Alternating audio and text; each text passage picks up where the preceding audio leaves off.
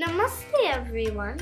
Welcome back to my channel, The Wannabe Scientist. Today I'm combining two of my favorite things, mantras and science.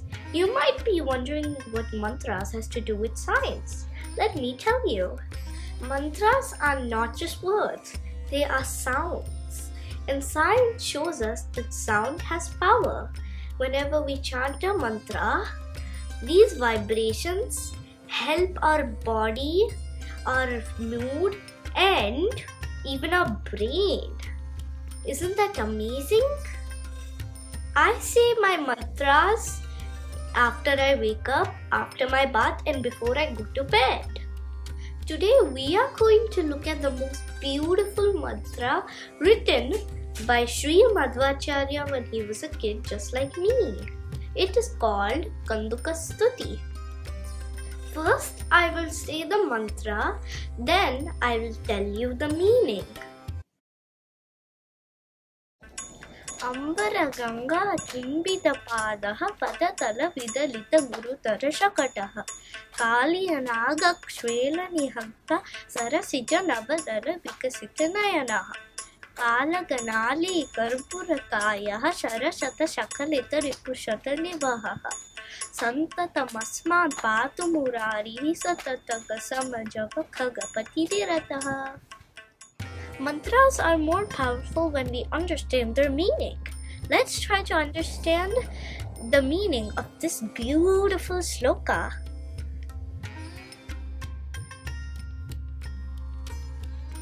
Ambara Ganga means the celestial river Ganga. Chumbita Padaha means touched or graced by Krishna's feet. This describes Krishna as the one whose feet grace river Ganga.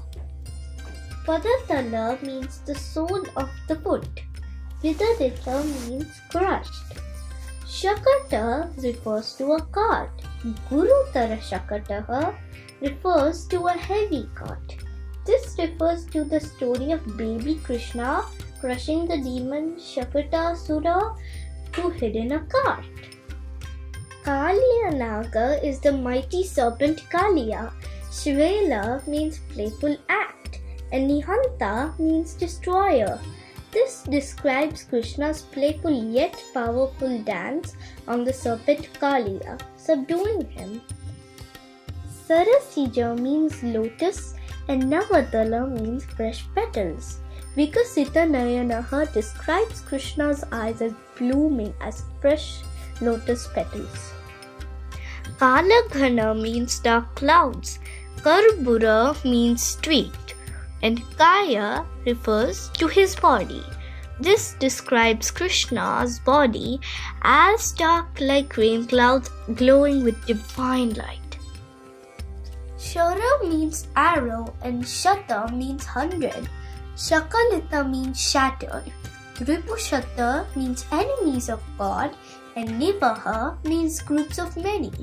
This describes Krishna as one who shattered multitude of the enemies of the gods with hundreds of arrows. Santatam means always and Asman means us. Patu means protect and Murarihi is Krishna as he is the slayer of the demon Mura. This prays for Krishna's constant protection in our lives. Satata means constant and Gasa means speed. Majava means swift and Khagapati refers to Garuda, the king of birds. This describes Krishna as the one who is constantly swift and rides Garuda, the king of birds. And there it is, the meaning of the Kanduka Stuti, composed by the great Sri Madhvacharya. It describes Krishna's divine qualities, his grace, strength, and kindness. It prays for his constant protection and blessings. Thank you for joining me to explore the beauty of Stuti. If you were inspired by the mantra, please leave a comment in the comment box below. And also, Don't forget to like, share and subscribe so that we can keep learning together.